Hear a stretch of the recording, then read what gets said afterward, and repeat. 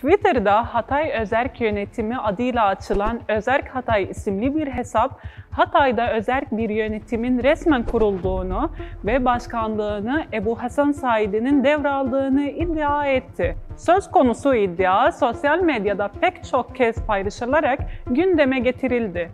Cumhurbaşkanlığı İletişim Başkanlığı Dezenformasyonla Mücadele Merkezi iddianın gerçeği yansıtmadığını açıkladı. Bahsi geçen Özerk Hatay isimli hesaba bir göz atıldığında özerklik ilanının hem Türkçe hem Arapça yazıldığı görülüyor. Yapılan paylaşımda da Dubai Veliaht Prensi Hamdan bin Muhammed El Mektum'un görseli yer alıyor. Hesabın başkan ve idare yardımcılığına Ahmedi Guysani atandığı iddiasıyla yaptığı paylaşımda bulunan görselin Katarlı manken Muhammed Neyruz'a ait olduğu anlaşılıyor. Hatay Özerk Yönetimi'nin başkanlığını devraldığı iddia edilen Ebu Hasan Saidi ismini ise ulaşılamıyor.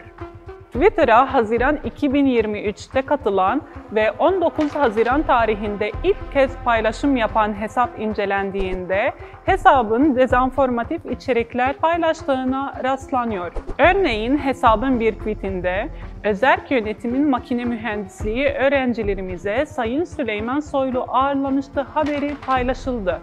Ancak çeşitli üniversitelerde bölüm birincisi olan Suriyeli öğrencilerin olduğu görseller 26 Temmuz 2022 yılına ait ve Süleyman Soylu İçişleri Bakanı iken paylaşıldığı anlaşılıyor. Sosyal medyada bazı sahte hesaplar Suriyeli göçmenlerle ilgili dezenformasyon barındıran içerikleri üretmeye devam ediyor. Sizce neden yanlış bilgi içeren haberler gerçek haberlerden daha hızlı yayılıyor? thank you